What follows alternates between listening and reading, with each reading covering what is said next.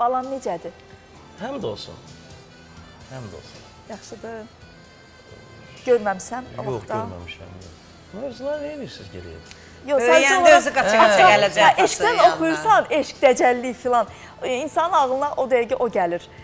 Ki, yəni insan necə öv övladından uzaq qala bilər? Yox, uzaq deyil axı. Bir nətər o sən sənin ürəyini qəlbimə də bilirəm gömdün misalı var da.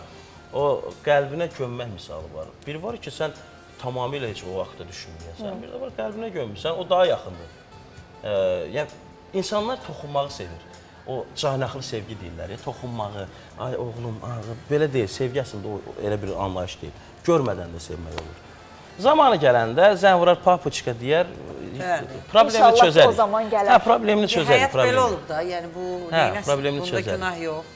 Yox, biz nətər mən ümumiyyətlə günah mövzusunda danışmaq istəmirəm. Çünki oğlumun anasıdır, kişiyə yaraşmaz onun dalından Yəni danışmaq. heç Yox, əlbəttə Hə, hə. ki, mən, Mən buna icazə vermərəm. Yəni Hə. bu baxımdan deyirəm ki, Bir nətər- indi hər kəs təbii ki, bir hər- alın yazısı var. Sənin də alın yazısı belədir. Mevlana'nın çox gözəl bir sözü var, deyir, e, kişi özüldür fundament, yəni qadın divarlardır deyir. E, özül sarsılırsa divarlar aşar, enkazın altında övladlar qalar. Başdınızmı? Yəni o özül sarsılmasın. Mən də sarsılmamaq üçün çəkilib durdum qıraqda ki, uşağın psixologiyası korlanmasın. Əlbəttə ki, hər Çünki gələcəkdə ailə- ondan da böyük travma Hər yaşayır. bir ailə, hər bir ana, hər bir ata, yəni ayrılıq olsa belə arada, yəni övladı düşünməlidirlər. Amma mən indi e, e, məsələn Elnar deyirəm, bir fikrinlə səni razı deyirəm ki, o deyir səni məsələn qəlbimə gömdüm. Ana onu eləyəmir. Mən ata Yox, mən başa düşdüm. Onu hə- həyat yoldaşı əks cinslər bir-birinə deyə bilər. Amma- Amma mən üçün o övladı demək lazım deyil. Onu qəlbimə gömdüm. Valla o deyir sənə sənə çatmayacaq toxun, toxunmasam da mən onun ürəyimdə. Amma o övlada necə toxunmamaq olar? İndi xanımı bildim. Neyə zorla işini gedim, bildim. zorla gedim Amma toxunum mu? övlada- Ha, əlimdə idi. Yəni belə mi? Zorla yox. Bilirsən, mən pozitiv insanam. Mən hər həyata bir Cəhdlər, nətər cəhdlər Yox, cəhd başqa şeydir. Cəhdlə nə edeyim? Uşaq məsələn telefon işlədəcək yaşda deyil. Mən məcburi şəkildə əlaqəmi kəsmək istədiyim insanla əlaqə saxlamalıyam ki, o uşağa toxuna bilim. Mən də onu istəmirəm.